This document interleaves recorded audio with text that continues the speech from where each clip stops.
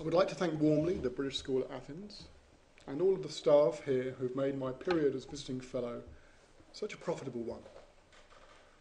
My lecture tonight draws on work that dates back several years and incorporates research that has been undertaken during many of my periods spent here in Athens. This work has benefited from many individual scholars, among whom I would like to mention thanks to Merle Langdon, Greg Stanton, John Traill, and John Camp. The work presented here has been made possible by the Epigraphical Museum and their academic and administrative staff, and the first Ephoria, to whom I extend my thanks.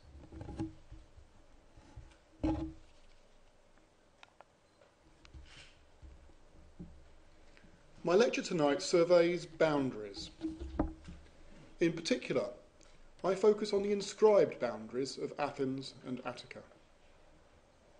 The majority of examples have been drawn from the less well-studied examples found in the Epigraphical Museum, and these will be used as illustrations for my lecture. But the purpose of this lecture is to demonstrate the complexity of what is still a relatively understudied set of material in its entirety. The work done on boundaries has focused on specific aspects, and what I will propose tonight is an example of how our understanding of space, or spatiality, a term I will explain later, can be expanded by considering boundaries as a whole, not only in their physical sense, but also in their intellectual sense and in terms of how they inform behaviour within Athenian society. To demonstrate this argument, I have divided up my lecture into five sections. In section one, boundaries and their functions today and in antiquity, I'm going to introduce to you the kind of material that is available to us in all its diversity. In the second section, approaches to boundaries in ancient Greece, I'm going to summarise the kind of approaches and methodologies that have been used by scholars in the recent past. In section three, boundaries and the perceptions of space, I will demonstrate to you the kind of attitudes that the Athenians had towards boundaries and how they organised space and illustrate some of the evidence for those mentalities. In section four, I will introduce the term spatiality and, and I will demonstrate how I think we can use this approach to understand this holistic perspective of boundaries within the Athenian polis.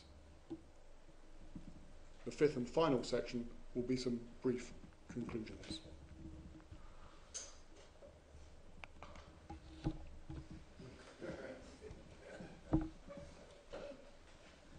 Boundaries are all around us. And here in Tositsa Street in Athens, they take the form of permanent and semi permanent markers of space. Here is one inscribed boundary. And in this photograph, I prevent, present side A.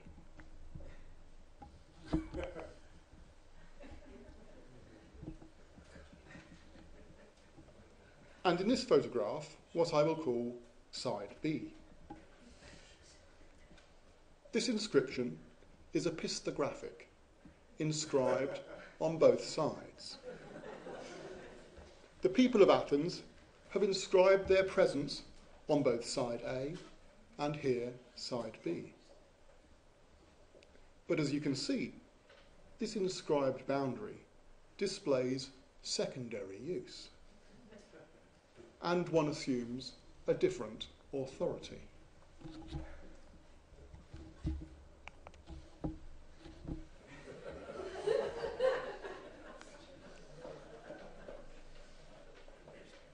The secondary use has changed the nature of the boundary and at the same time provides us with important topographical information. Clearly in this space we can find a museum nearby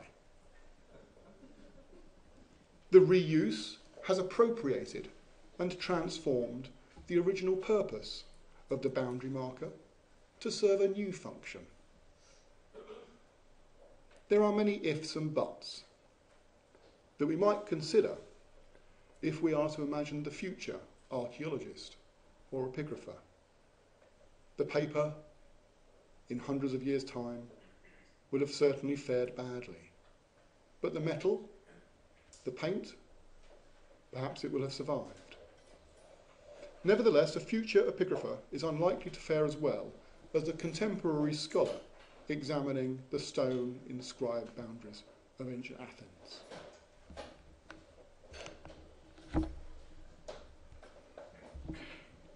Boundaries, such as the one that we have just seen, serve to define limits. They can reflect the voice of authorities and institutions. Boundaries can present a life story, a history of the boundary that we will need to be sensitive to. And boundaries can carry messages, instructions, warnings, exclusions, as well as information about the space that they define. And these are some of the themes, therefore, that will reappear this evening.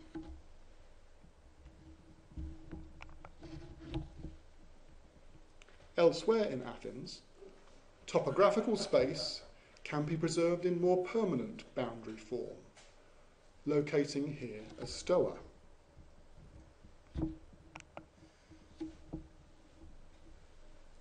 whilst also presenting instructions and orders about access to space, the control of space. So having seen a few modern examples of boundaries, what can our examples from ancient Athens tell us about the boundaries of Athens and Attica?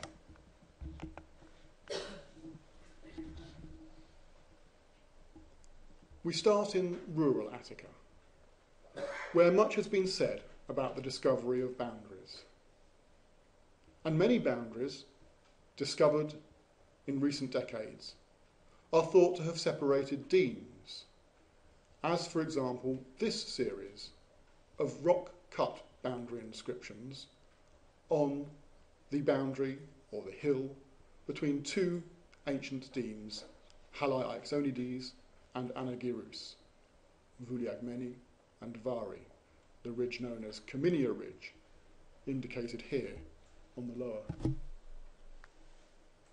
the lower photograph, and over here on the map. These inscriptions, cut on the flat bedrock, are often difficult to find. Individual scholars, following in the footsteps of examples like Eugene Vanderpool, and epitomised by the work of Professor Merle Langdon, among others, have been discovering rupestral inscriptions, boundaries, in the last three to four decades.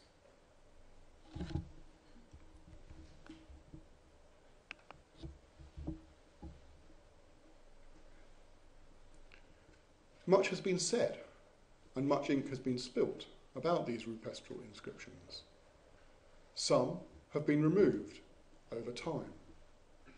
The development of the airport at Spata has affected one series, from which one example has been preserved and set up on display in the airport museum.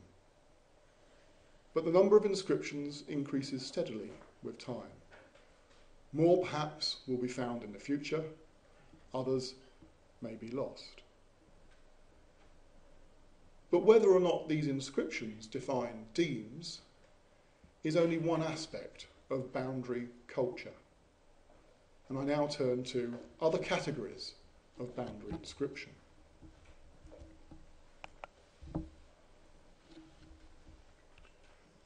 The majority of inscriptions are preserved on stone that are set up for the purpose of carrying a boundary inscription, unlike the rupestral examples that we've just seen.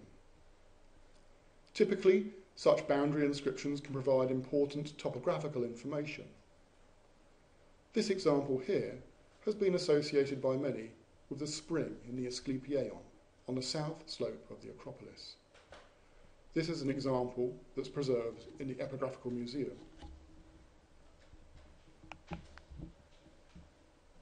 And it's part of a series that belongs to the better preserved example on the left hand side of the photograph, that's preserved probably in situ here on the south slopes of the Acropolis.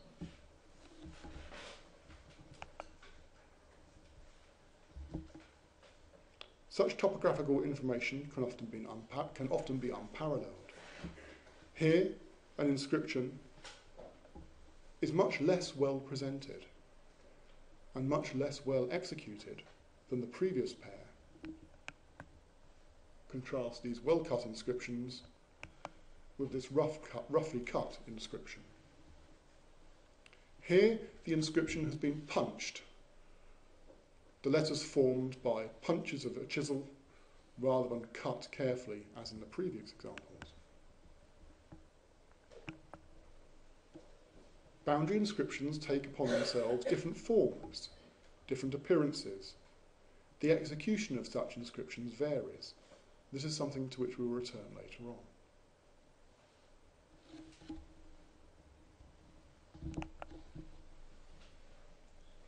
Unfortunately, more often than not, the inscriptions carry with them very little contextual detail, as the next two examples from central Athens demonstrate. Typically, we may know something about the find spot, but often we have very little knowledge of any precise whereabouts of where the stone would have been set up. One of the questions we need to ask ourselves, often a question which we cannot answer, is whether or not a stone is a pierre errante, a stone that has wandered from its original setting up spot. Here, for instance, we have a boundary, but a boundary of what? Perhaps a burial, as indeed boundaries often mark out burials, or a sanctuary, but normally such markers include additional information, or a road, additional information, perhaps usually being associated with such, with such inscriptions. Boundaries therefore bring with them topographical uncertainties. And that makes it difficult sometimes to treat in detail the specific elements of specific boundary inscriptions. Here is another inscription from the same context that carries additional information that defies an easy explanation with an alpha inscribed on the second line after the four letters of the word boundary.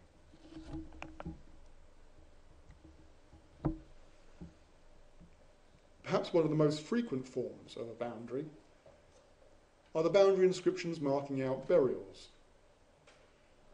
These are numerous and often not particularly well inscribed, as the example here, nor necessarily inscribed on well finished pieces of stone.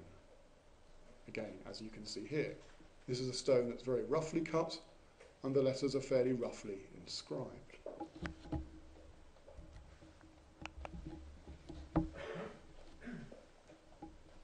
In this example here, a stone of another purpose has been reused to mark out the boundary of a burial. In this particular example, the dimensions of the burial plot are given 20 feet within and 30 at the sides. But note again the kind of inscription, the kind of stone that's being used, and the, and the rather casual appearance of the lettering.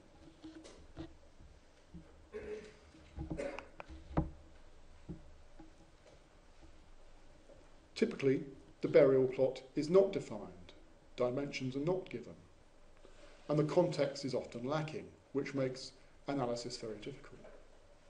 The size of boundary inscriptions varies incredibly. And note here this example, which is only about 20 centimetres in width. Boundary inscriptions can be small stones, bearing little monumental presence, but could easily be missed. So they vary enormously in quality, execution, nature of the material, and size of the stone.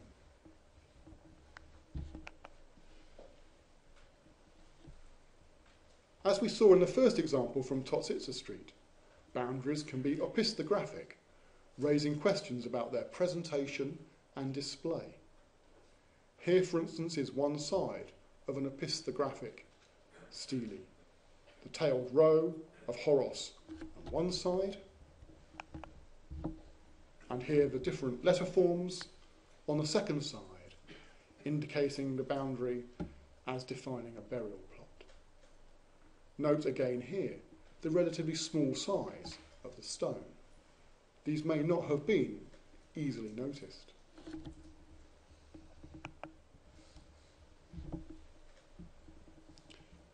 If burials are marked by boundaries, so too roads are also commonly marked out. Here are two examples from the recent emergency excavations in the Mesogeia. Roads themselves often serve to describe and define plots of land, and so it is important that their limits can be reinforced by inscribed boundary markers. Encroachment of space was a major issue, and the preservation of the integrity of roads and burials was clearly a major concern for those interested in controlling space in Athens and Attica.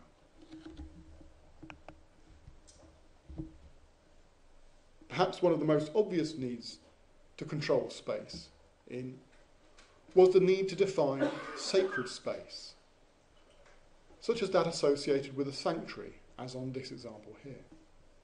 Sacred space was not to be polluted, and so the polluted were not to enter a space defined as sacred. The classic example of this instance is, of course, in Thucydides' description of Athens in the early years of the Peloponnesian War, Book 2, 16 to 17, where the occupation of the sacred area around the Acropolis was commented upon by Thucydides as people crowded into the city and took up habitation wherever they could, towers in the city, city walls, or wherever else people could find a space.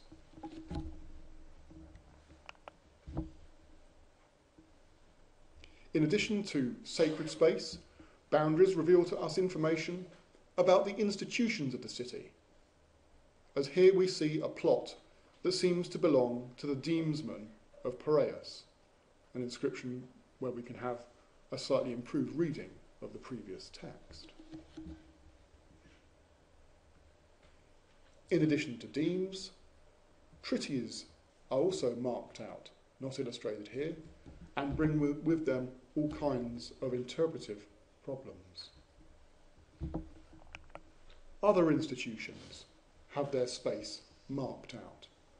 Property here concerning a phratry, and many other subdivisions of the city state are illustrated by boundary inscriptions.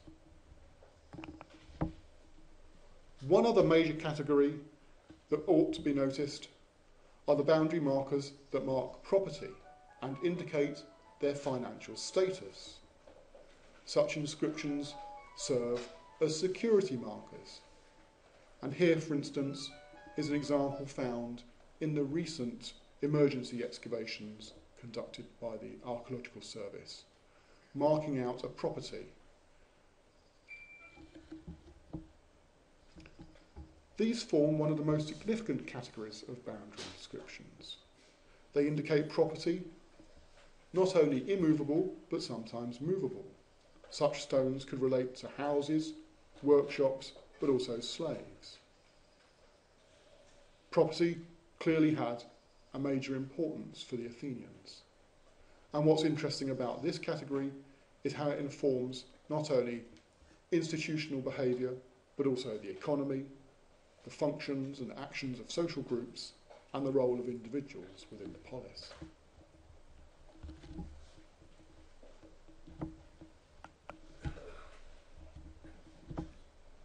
I've presented to you a brief survey of the kind of epigraphical material that exists amongst the category of boundary inscriptions.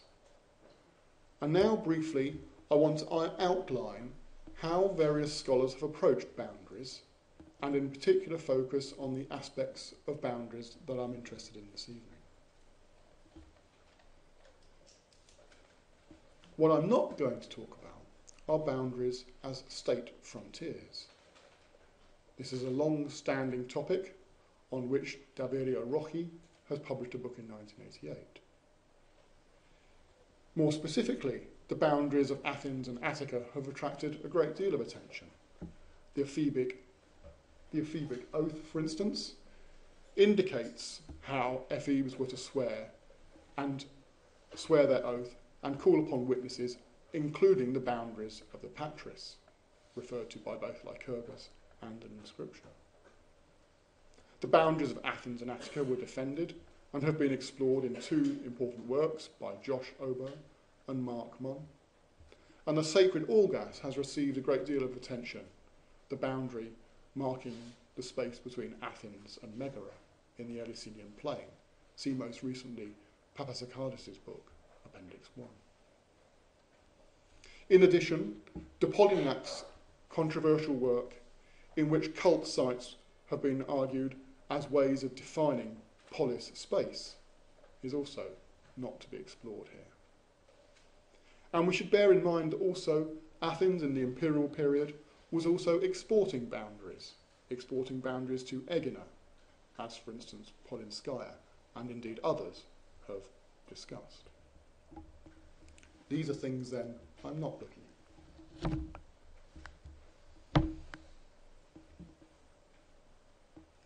What I want to move away from is the more fragmented and specific kind of analysis that has occupied academics in recent years.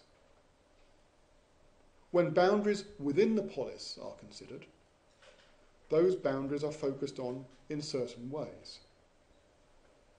A whole series of studies have been focused on deme boundaries, as I referred to already. See, for instance, Traill's Demos and Trittys, and now, in a very useful survey, Ilaria Bultrighini's unpublished PhD thesis, which surveys the epigraphical evidence for deme boundaries in southern Attica. Trittys markers I've referred to.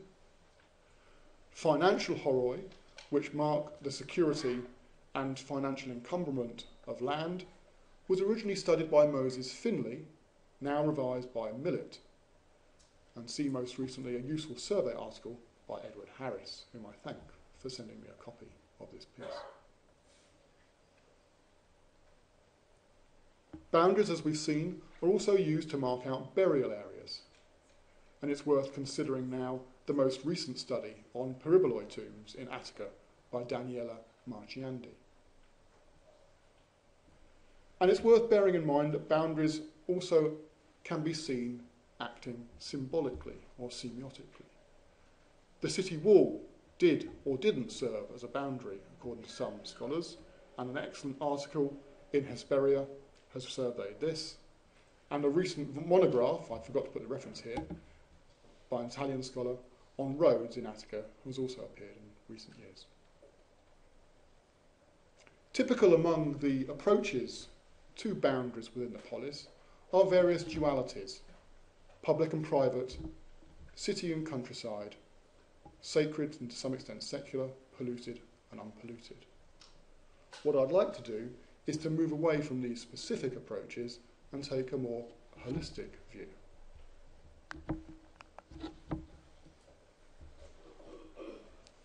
One scholar in particular has pioneered that more holistic view, and that's Jerry Lalonde, who is in the audience tonight. His excellent treatment of boundaries found in the Agora excavations within Agora 19 serves as the best survey of boundaries available to us, and I owe a great deal to this work. But in addition, Gary Lalonde has also demonstrated how specific case studies can serve us very well for instance, in his analysis of the demes of Melite and Kollytos in central Athens, which build upon his observations on the boundary inscriptions IG1 cubed 1005 A and B.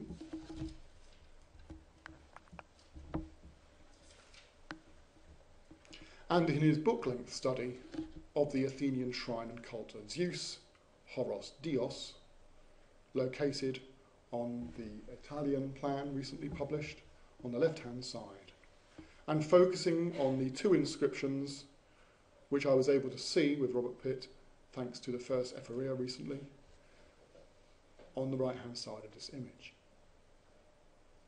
What's fascinating about these inscriptions, both rupestral and both extremely well preserved, is of course their early date, as you can see clearly from the three bar sigmas, tailed row, and use of the aspirated omicron, but also in the lower example, the retrograde version of the Horos Dios inscription with the interpunct and three bar sigmas again quite prominent.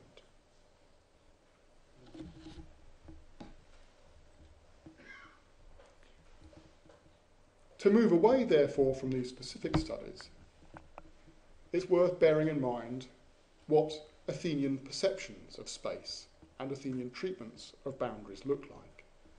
And so, in this third section, I just want to review some evidence for Athenian mentalities, for Athenian perceptions of space, and how some of those mentalities get played out in the classical period. It's worth bearing in mind that not all boundaries are inscribed. And so, famously in Homer's Iliad, when fighting Ares, Athena seized with her strong hand a stone that lay upon the plain, black and jagged and great, that men of former days had set up to be a boundary marker of a field, and with this she struck Ares on the neck and set loose his limbs. Not all boundary markers were inscribed, and so I'm aware, by concentrating on inscribed markers, that I am potentially neglecting certain amounts of evidence. And here at Rhamnous, uninscribed boundary markers have indeed been found by the archaeological area in the theatral area. And in this illustration, the three uninscribed boundary markers are illustrated. So indeed, we do have uninscribed boundary markers in certain areas. What were those mentalities? How did the Athenians approach boundaries? Perhaps most famously, the Astynomoi were responsible for various aspects of civic organisation. In the Athenaion Politeia 50.1, we're told that they keep watch to prevent anyone from depos- depositing ordure within a mile and a quarter of the city wall, and they prevent the construction of buildings encroaching on and balconies overhanging the roads. And we've seen shortly before the importance of roads and boundaries of roads and burials, and burials would often encroach on roads. So we can see the, the importance of roads, and here an indication of the astynomois function. Other Athenian officials were also involved in the oversight of boundaries. The king archon, the basileus, is to define sacred boundaries for the sanctuary and the Pelargikon, according to IG 1 cubed 78. A more detailed inscription from the 5th century describes how the king archon was involved in the lease of the land associated with the sanctuary of Codrus. And here we're told that the horistai are to define the boundaries of the sacred space in lines 6 to 8 of the inscription. In the plan on the left hand side, you can see an indication of the sanctuary site and also the location of one of the boundary markers of the sacred space that has been preserved.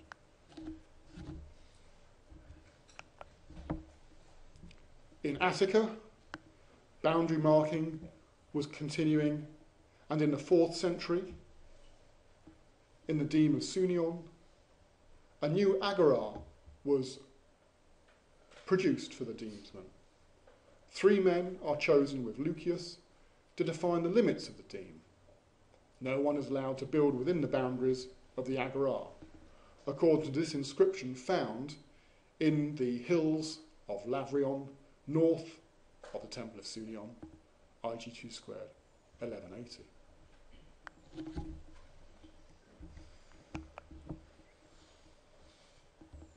economic transactions, as we've already seen, were used to define boundaries and describe and prescribe financial operations. Financial space was a very important part of the operation of boundaries and the central aspect of the mentalities that the Athenians and perhaps the Greeks in general had towards space. In Plato's laws, we're told here too that boundaries serve an important function. No man shall move boundary marks of land, whether they be those of a neighbour who is a native citizen or of a, or a foreigner. Sooner let a man try to move the largest rock, which is not a boundary mark, than a small stone, which forms a boundary. No one shall voluntarily move the boundary marks of the land of neighbours. Whosoever encroaches on his neighbour's ground, overstepping the boundaries, shall pay for the damage. It's worth noting here, having seen the examples in the first section of the lecture, that even small boundary stones shouldn't be moved. And this coincides with the kind of evidence we've seen for the small size of the boundary markers.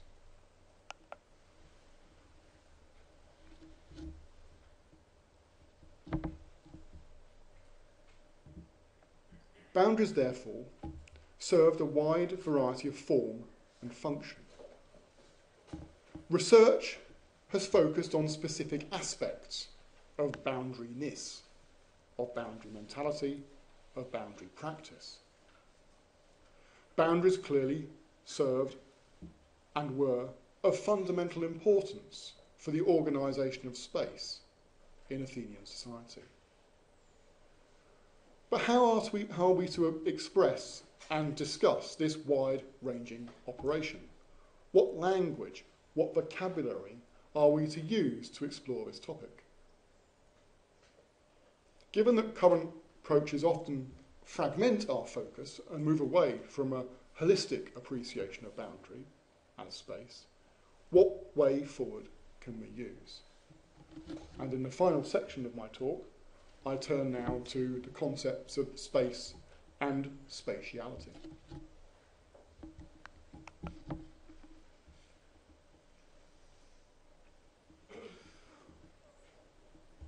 Henri Lefebvre, writing in the post war period, was an influential Marxist thinker whose production of space has been of great influence. In French scholarship, space, l'espace, has become a very banal term that's used and banded around rather indiscriminately. But behind the use of that term, there is a long, strong theoretical tradition which has influenced French scholarship. And therefore, it's to French scholarship that those exploring spatiality owe a considerable debt.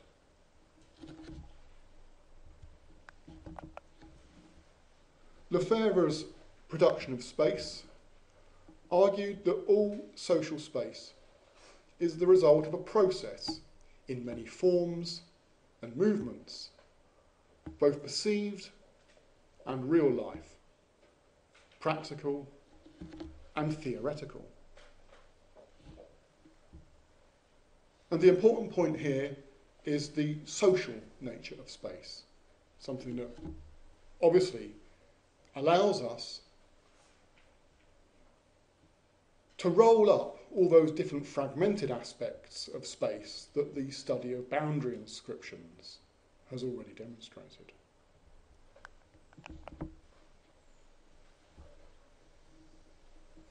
Neither nature, climate and location, nor earlier history are sufficient to explain a social space, says Lefebvre. Such a space contains very diverse elements natural, social, networks and channels, carriers of material and information exchange. It cannot be reduced to these elements that it contains, nor to their sum. And it's interesting in current scholarship how many of these terms are now in themselves subjects of study. Networks, for instance, is a, an important aspect of understanding ancient society. Neither nature nor earlier history are sufficient to explain social space. Location alone, topography alone, is not sufficient. What one needs to do is to combine different approaches the natural, the social, the networks, the ties that the use of space brings together. And the use of space allows us to understand how information is transferred. Lefebvre's work was heavily influential on a postmodern geographer, Edward Soja, who devised the term spatiality, a term that he uses to move on from Lefebvre's work.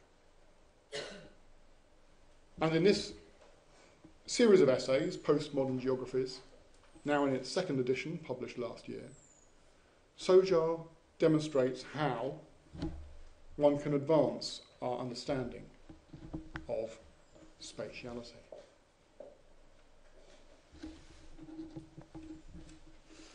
Space should not be seen only as the reflective mirror or the embracing container of social life. Spatiality is socially produced, a term directly taken from Lefebvre. And like society itself, it exists in both substantial forms, concrete spatialities, boundary inscriptions if you like, and as a set of relations between individuals and groups, an embodiment and medium of social life itself. What's fascinating here is how Soja moves on from Lefebvre. Lefebvre was interested, as a Marxist, in the group definition, on the social definition of space.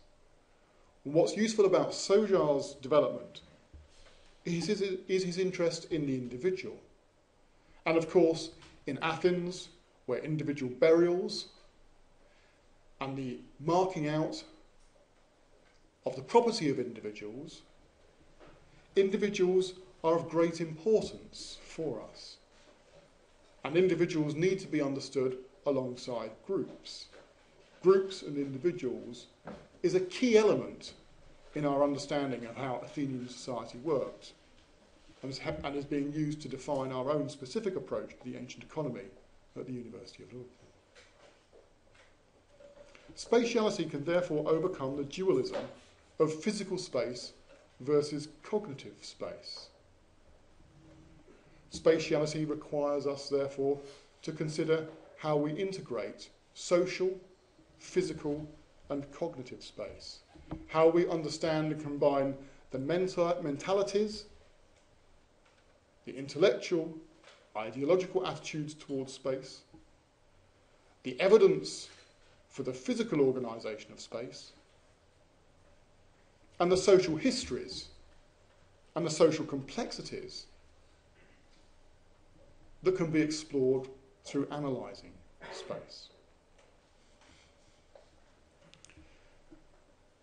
In what remains, therefore, I'm just going to illustrate a few exam- with a few examples some ways in which we might start to advance our understanding of boundaries in this holistic way by using a spatiality approach.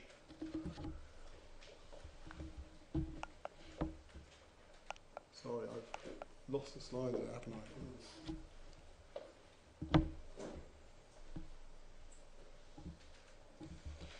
In this first example, we see, as in our first illustration from Tositsa Street, how inscriptions can be used and reused.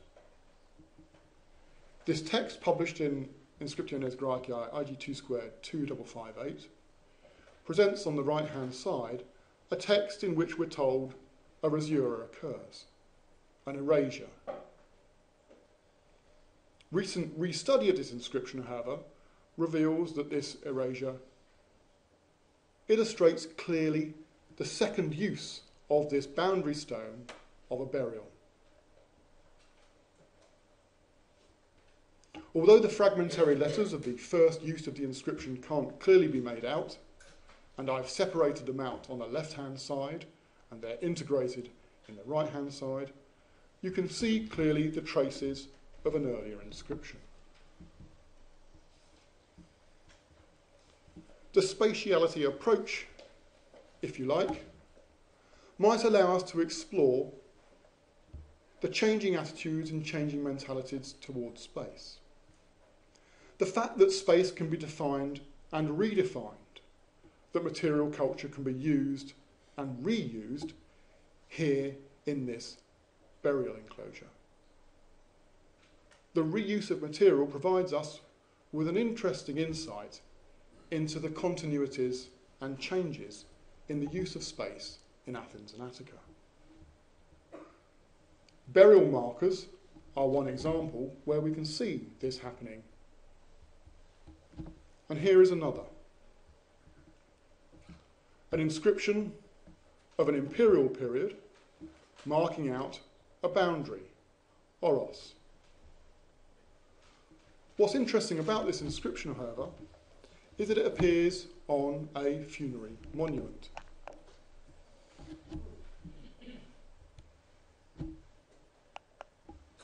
On the left hand side is a funerary monument, and on the right hand side, the inscription that occurs on the top of the monument. Here. Unfortunately, I've not been able to study the erased text that you can see here in the photograph. The inscription hasn't been moved out from the shelves in the, in the Epigraphical Museum. Careful study of the erasure may reveal some traces of lesser, but the essence is here that we have a Hellenistic or early imperial inscription whose function has changed completely from being the burial marker of an individual and now has been turned into a marker of space. Another indication of the changing nature of space in Athens and Attica.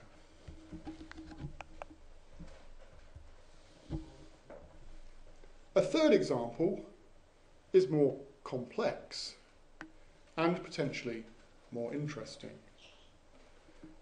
When going through the series of Inscriptiones Graecae uh, boundary inscriptions, this one jumped out as an interesting example to look at. It's not an inscription that has been studied, as far as I know, since it was published originally by Kirchner. This inscription of the imperial period interestingly carries information from an earlier time. The inscription is inscribed on the top of the circular monument with the word koinos, and then on the external face of the truncated column, we have in large letters the word oros, you can see some of that here.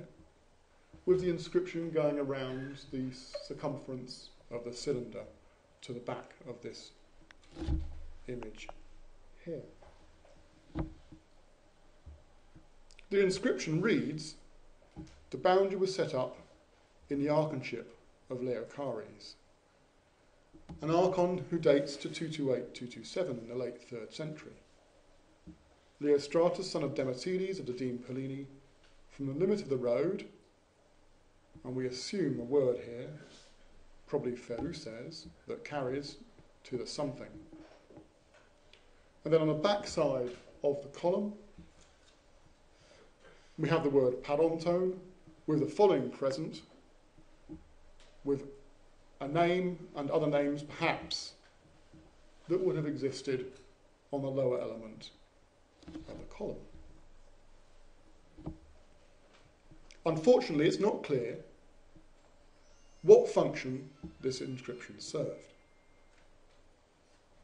It's tempting to suggest that this marked a funerary enclosure, and indeed, by looking at the fine spot of the inscription, which Kirchner identifies as being in the royal stables, we can make comparisons with other inscriptions found in the area.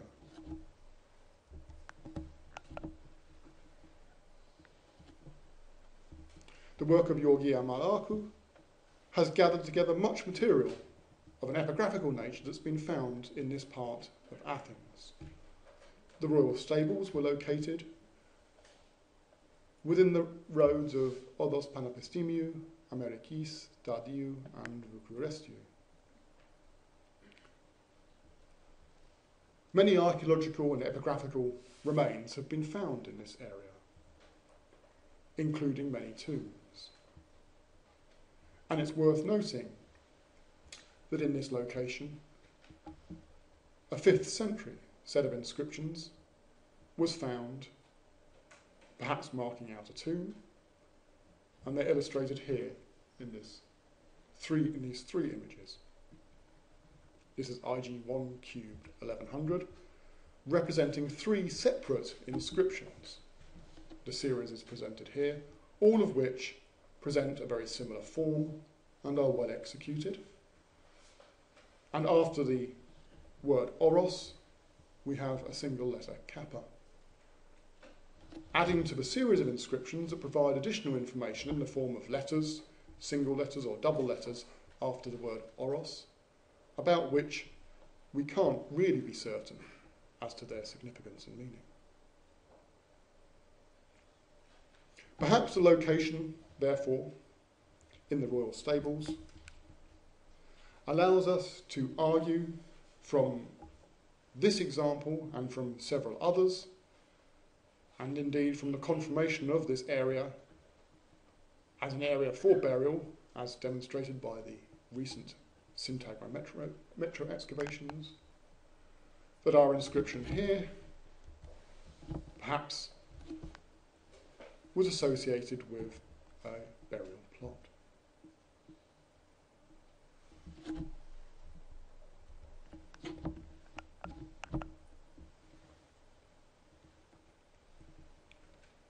Another interesting example of how change and continuity in space and in physical space over time existed can be found on the financial inscriptions, the security markers.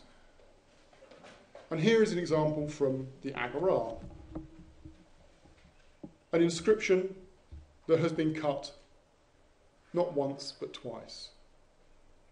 A property was sold and then later resold.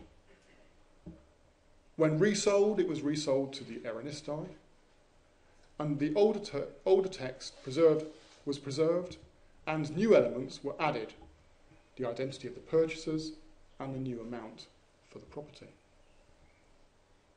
This inscription nicely indicates the continuity of the inscription how it was used and reused in the space with which it was associated. Whether or not the inscription refers to the same property is, however, and unfortunately, less clear.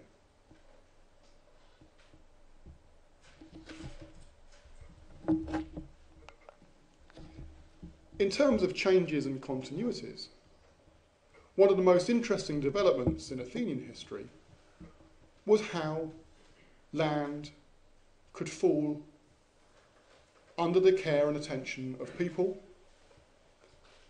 and be subject to abuses by individuals. In the long Hellenistic period, a great deal of social change took place in Athens, and land and property seems to have changed hands frequently and perhaps have been used by individuals in ways which contravened old usage of land and property. At least that's the impression that we get from the important inscription from the Augustan period of Athens, IG2 squared 1035, shown at the bottom of this slide, which refers to individuals occupying areas that were sacred. In the early imperial period, this inscription informs us that there was a considerable reassessment of land in Athens and Attica. And it's to this period that some have been tempted to associate some of the more imperial looking material from the history of the boundaries of Athens and Attica. One such example are the inscriptions from the hill Alepovouni, seen here in the centre of the photograph, um, beyond the Hilton Hotel, a photograph taken a few years ago. And on that hill, Merle Langdon and several others found a series of inscriptions in which the word oros was supplemented by letters below and above the four letter word oros. The letter forms have been associated with this imperial period. And it's been suggested that these may also have been marking out land that came under the changes introduced by the Augustan reforms.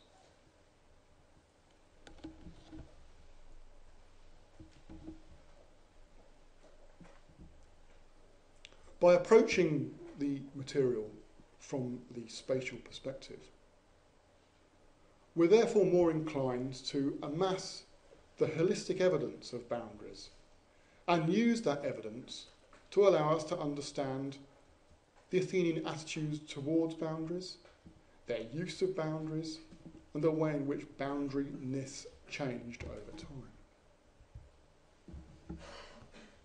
Boundaries can be classified effectively as a genre of material and are therefore worth studying collectively and holistically.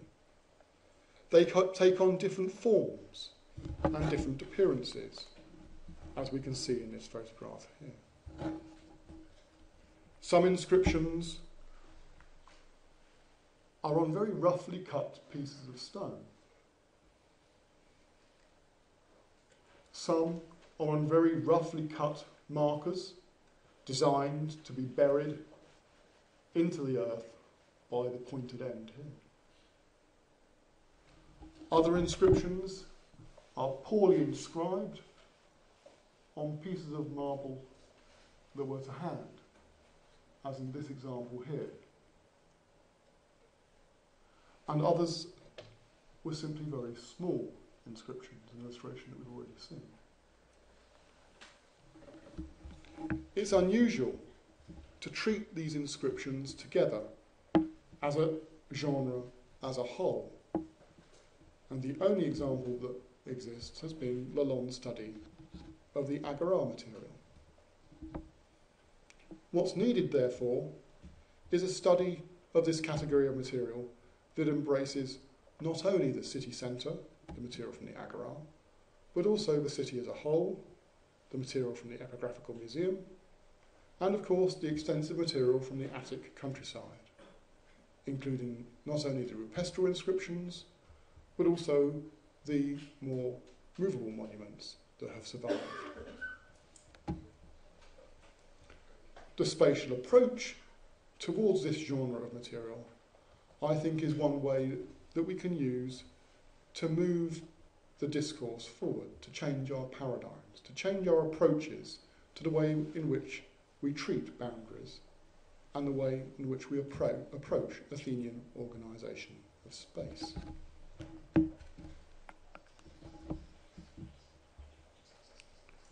What I've tried to do is to outline the nature of the fragmented approaches that have been adopted towards boundaries. Specific questions have been asked of boundaries, focusing on very individual themes. Specific studies have been taken, taken place, some of which lay great stress on the importance of different topographies. There are limits the, to the debate on the Deme border problem. Not all of these boundaries found in the Attic countryside, on rock, on rocks, rupestral inscriptions, not all of these can be Deme borders. There is therefore something of a two-dimensionality towards these traditional dualities of public-private, polluted-unpolluted, city-countryside. And I think indeed the city-countryside is a real red herring. Therefore, what I would propose is a more holistic view of treating Athenian space, which combines an approach that embraces the mentalities towards space, the actual study of physical space, and all the elements of social space that go with a complete analysis of the institution, institutions and individuals that one can associate with the use of boundaries. What benefits do we have from viewing spatiality in the Athenian polis in this way?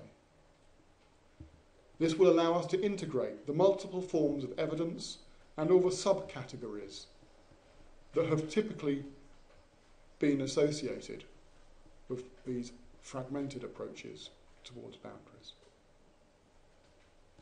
This approach will allow us to look at boundaries as an expression of Athenian cognitive behaviour. And this is of particular importance for all kinds of um, follow up understanding of Athenian society. For by understanding Athenian mentalities and how they approached their spatial organisation, their economic and institutional and political behaviour can also be understood. These are, therefore, I think, and what I'd like to propose as, the benefits of an approach towards boundaries within the Athenian polis, which combine both spatiality and epigraphy. And it's worth bearing in mind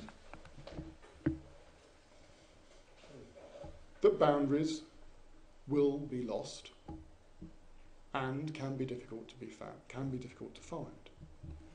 And if you're ever interested in taking a machete up to the Lykabettos and cutting back this plant here, you will find one of a pair of boundary inscriptions that is, I think, the nearest boundary inscription to the British school.